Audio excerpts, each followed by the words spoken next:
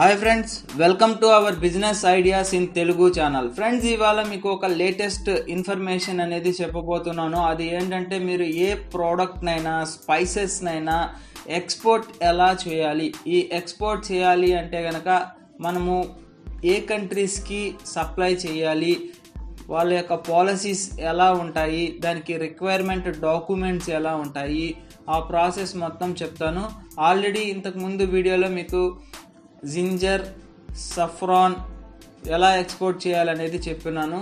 Next కూడా onion ఎట్లా export చేయాలనేది చెప్తాను. ఇవాళ వచ్చేసి టోటల్గా మీకు ఎక్స్పోర్టింగ్ ఎట్లా చేయాలి అనేది స్టెప్ బై స్టెప్ మనకు ఏమేమి రిక్వైర్మెంట్స్ ఉన్నాయి అనేది పూర్తిగా ఈ వీడియోలో తెలుసుకుంటారు. ఈ వీడియో చూడబోయే ముందర మొట్టమొదటగా మీరు మన ఛానల్కి విజిట్ చేస్తుంటే తప్పకుండా మన ఛానల్ని సబ్స్క్రైబ్ చేసుకోండి లైక్ చేయండి కామెంట్ చేయండి. అది ఎలాగో తెలుసుకుందాము. మొట్టమొదటగా మనము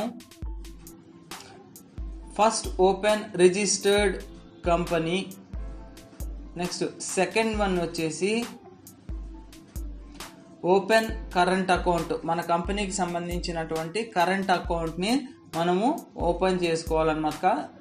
నెక్స్ట్ థర్డ్ వన్ వచ్చేసి అప్లై ఫర్ ఐఈసి కోడ్ అనమాట ఇది ప్రీవియస్ వీడియోలో ఎట్లా అప్లై చేయాలనేది డీటెయిల్డ్గా మీకు ఇచ్చినాను ఒకసారి చూడండి.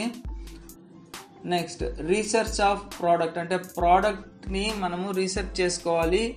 హెచ్ఎస్ కోడ్ అని ఉంటుంది. అది ఎట్లాగా అనేది ఆల్రెడీ ప్రీవియస్ వీడియోలో ఉంది. నెక్స్ట్ వచ్చేసి ఫైండ్ డిమాండింగ్ కంట్రీ అది ఏ కంట్రీలో ఎక్కువగా సేల్ అనేది ఉంది తెలుసుకోవాలి. అది ఆల్రెడీ ప్రీవియస్ వీడియోలో ఉంది ఒకసారి చూడండి. నెక్స్ట్ వచ్చేసి మేక్ ఏ గుడ్ వెబ్సైట్ మన ప్రోడక్ట్కి సంబంధించినటువంటి ఒక వెబ్సైట్ అనేది మీరు రెడీ చేసుకోండి. దాంట్లో ఫుల్ డీటెయిల్స్ మెన్షన్ చేయండి. నెక్స్ట్ వచ్చేసి connect with social media pages అంటే ఫేస్బుక్ ఇన్స్టాగ్రాము ట్విట్టరు ఇలాగా సోషల్ కనెక్షన్ని సెట్ చేసుకోండి. స్టార్ట్ ఆన్లైన్ మార్కెటింగ్ అంటే మీరు ఈ వీటిల్లో సోషల్ మీడియాలో ప్రమోట్ అనేది చేయండి మీ ప్రోడక్ట్ని. ఇలాగా take a part in expo ఇలా మీరు చేయగలిగితే నెక్స్ట్ స్టెప్ ఏమవుతుందంటే ఆర్డర్స్ అనేది వస్తూ ఉంటాయి.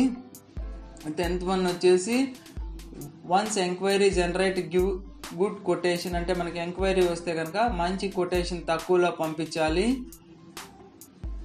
Next after exporter and importer deal done. అంటే మనం పంపించిన కొటేషన్ కనుక ఓకే అయ్యి వాళ్ళు డీల్కి ఒప్పుకుంటే కనుక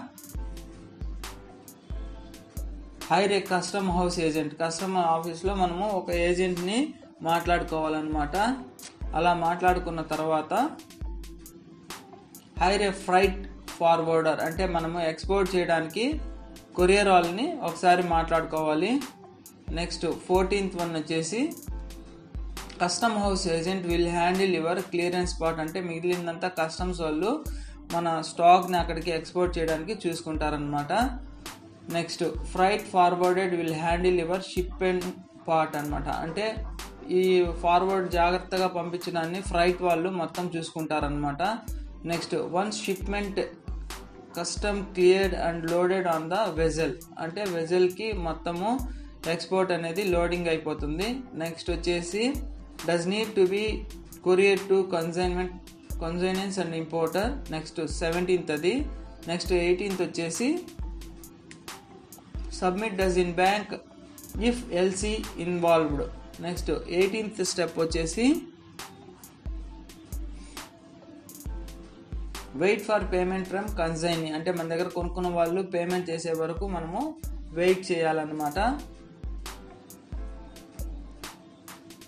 After received payment take BRC from bank అంటే పేమెంట్ రిసీవ్ అయిన తర్వాత బీఆర్సీ అనేది మనం బ్యాంక్ దగ్గర నుంచి తీసుకోవాలి. Next submit in custom and get drawback in your bank అంటే కస్టమ్ ఆఫీస్లో మనం అన్ని డీటెయిల్స్ సబ్మిట్ చేయాలి. బ్యాంకు కోసంగా.